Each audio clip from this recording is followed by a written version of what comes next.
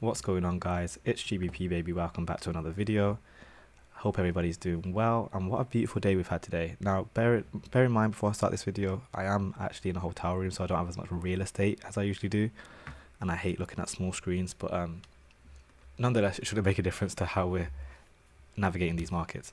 Anyway, what are we saying? So we traded up into the premium that we anticipated and you can see we also traded aggressively lower today um, right through that bearish fair value um, that fair value gap which I wanted to see get traded through. So we've had quite an expansive day for a Monday. Um, not surprising considering how much news we have this week, but nonetheless it is going in line with what I want to see. As in, I'm liking this bearish price action from dollar.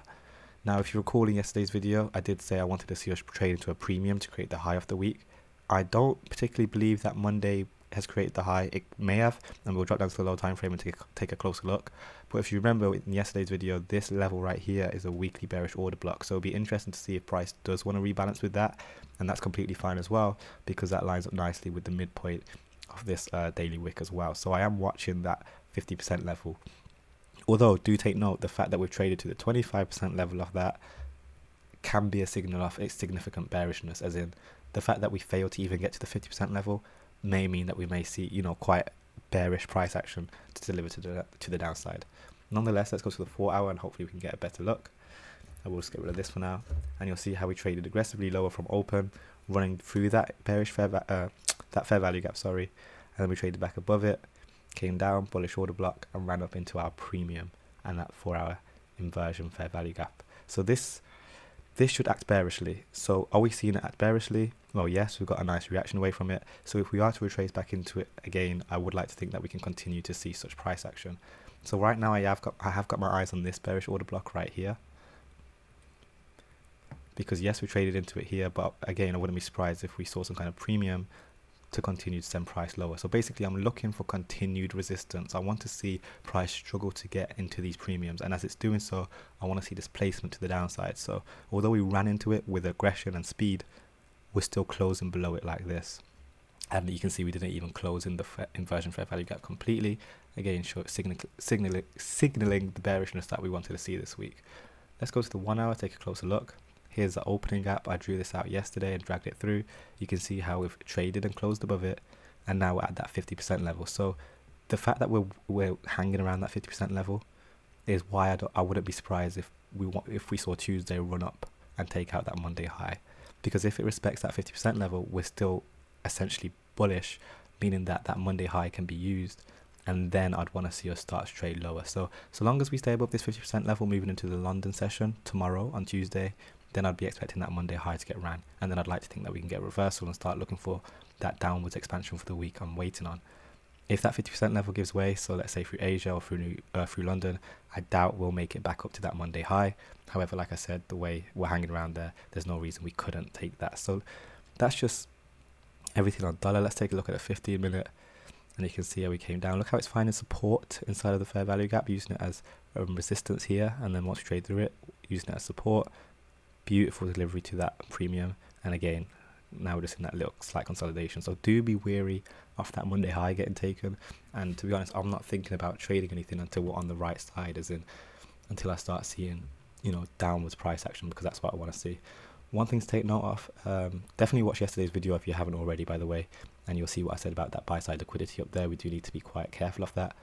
But um here's that 50% level from the daily i was talking about. Price may want to run that Monday high, as I was saying, and run up into this. So we do need to be careful of that, and that would line up with that mitigation block as well. So that's how I'm watching tomorrow. I'll just be seeing, okay, can we take out that Monday high? And once we're above there, I want to see, do we see, I'm looking for bearish price action as we move throughout the day. So especially around New York, I'd want to see a New York reversal because I don't want to see us surviving up here. Because remember I want a down close week so I want the high to be made either today or tomorrow ideally which is why I'm expecting or wanting to see some kind of struggle once it gets to these these kind of premiums up here. So I hope that all makes sense. Um, yeah very interesting day. Let's now head on to GBP USD we'll start on the daily here as well. Beautiful well not beautiful but very interesting. Look at that. Can you make that up guys? Ooh can you make that up? Go and watch yesterday's video. I drew our attention to that level for a reason. I do believe it's on the four hour, but nonetheless, what am I expecting? Well, now that we have this stupidly huge wick, consequent encroachment off that is going to be significant. But um, remember, we're looking for the low of pound to get made. So I'm looking for that Monday low to get ran, just like I was saying, for that Monday high to get ran on dollar. I'm happy. I'm ha- I'm happy to see that. We should definitely drop down to the low time frame though and see what kind of PD arrays we may want to trade down into. Let me see, what level is that? Oh, that's a weekly fair value gap down here. I was saying that price may want to dip down into that, um, and that's completely fine if it does. Let's go to the daily, actually, four hour now. Yeah, okay, that weekly fair value gap is still significant. So in terms of the low of the week, ideally, I'd like to think that um, pound can make it down here into this and fill that gap. And you can see there's a little gap there as well and then I'd like to think a reversal could um, come out of this. So if we do continue to trade higher on dollar, so we start seeing the rallying, which I was saying, up into this range and above that Monday high, if we see that, I'll be looking closely at um, pound to see, okay, can we get down below that last week Wednesday's low into that weekly fair value gap, fill it, and then leave it. I don't want to see us trade through it. If we trade through it, whole other story, and we'll have to reevaluate. But generally speaking, I want to see, can we get into it and leave it? Because that's ideally what I want to see if I want to see an up close week on pound. Very interesting to see how we ran into that stop though, like with the wick. And if anything, that's more reason to expect us to, you know, be looking for some kind of discount. And with all the news we have this week, I wouldn't be surprised if we did see a fat reversal happen and then us run out that Monday high eventually. But generally speaking, yeah, let's go on a one hour. Interesting consolidation there, clear displacement, nice little fair value gap right there. Definitely looking at these lows. And again, I want to see this get filled, not traded through I want to see it get filled and then I want to see us start to trade outside of it. If I see that in line with dollar moving lower, I'd happily start looking for that Monday midpoint to get traded to and then eventually through this consolidation. But we don't need to think about that as of now. First, let's see if we can get down there.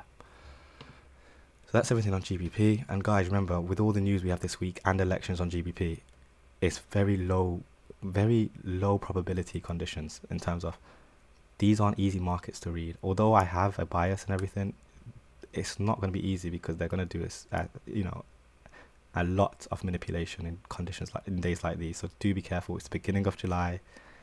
Let's give it a chance, especially with non-farm payroll. Give it a chance to catch itself. But yeah, I just I just need you guys to keep that in mind. Same on um, euro anyway. I'm looking for a discount to get created on euro, so I'm looking at that Monday low.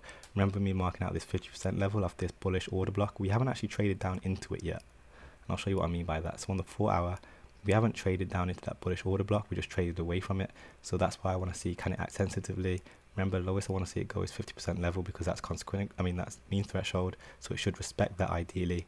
And I'd like to think that can get you know I'd like to think that will stay intact for us to then again create the low of the week with the expectation to eventually fill this premium range I was talking about. So pretty simple very nice day on euro a lot more well behaved than pound as you can see. Clear displacement so we're running for some kind of sell stops. Um, and that's why I have this sell side liquidity marked out because at, right now it's looking like price could easily run for that sell side and then whip back on itself on Thursday, moving into Wednesday and Thursday. So do take that into consideration. Although I'm talking about this daily order block, now that I'm on the one hour and I'm seeing how clean these lows lows look, it wouldn't surprise me at all if um, Euro wanted to grab those bearing in mind if euro is going to grab those relative equal lows that means that dollar would likely have to trade into these relative equal highs. So now that's changed the narrative completely now hasn't it guys? But what i'm saying is that this whole movement down that we're seeing so this kind this time of the week moving into that tuesday wednesday time i'm seeing this as manipulation which is why i'm not too concerned about where it's going to. I just need to wait for that you know pullback if it's going to give it us to then start thinking about potential longs because that was my weekly and monthly bias, right? If that makes sense. But yeah, nonetheless, traded up into a nice premium. So now there's no reason to go for the sell side. But remember, I want to up close week. So the fact that we're going to a premium on, on Monday is suggesting to me that we won't probably see expansion until Thursday and Friday. Does that make sense? Well, yeah, of course it does make sense. Why? Because we've got non-farm payroll. So I hope that all makes sense. Anyway, I've got to get going, but Hope you found this insightful. Therefore, drop a comment, join the Discord server, drop a like, join the mailing list, and I'll catch you tomorrow. Peace.